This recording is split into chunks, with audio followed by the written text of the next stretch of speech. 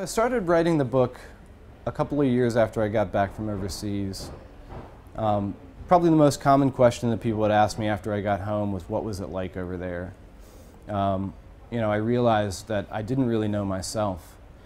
Um, there really is no analog for war. Um, but when I started writing, I remember reading a quote from Ruskin talking about Turner. And he said that most people's experience of the sea comes from standing on the shore, but that Turner had managed to paint from inside the sea. So I really just tried the best I could um, to show the experience of war from inside the sea.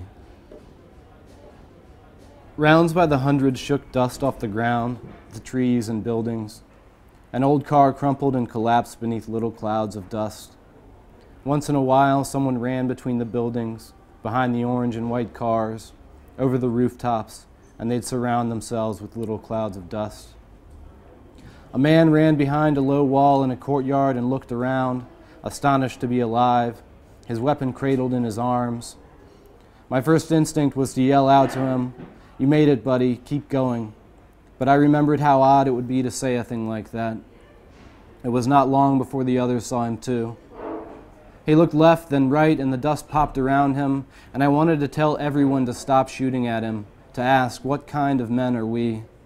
An odd sensation came over me, as if I had been saved, for I was not a man, but a boy, and that he may have been frightened, but I didn't mind that so much because I was frightened too. And I realized with a great shock that I was shooting at him, and that I wouldn't stop until I was sure that he was dead. And I felt better knowing we were killing him together, and that it was just as well not to be sure you are the one who did it. So I decided the best way to write the book would be to simply show, as best I could, the cartography of one man's consciousness, or a boy, really. Um, to show the experience of being in a war through one person's eyes. And I thought that people would be able to relate to that. Um, everybody knows what it's like to be afraid. Everybody knows what it's like to be ashamed and angry.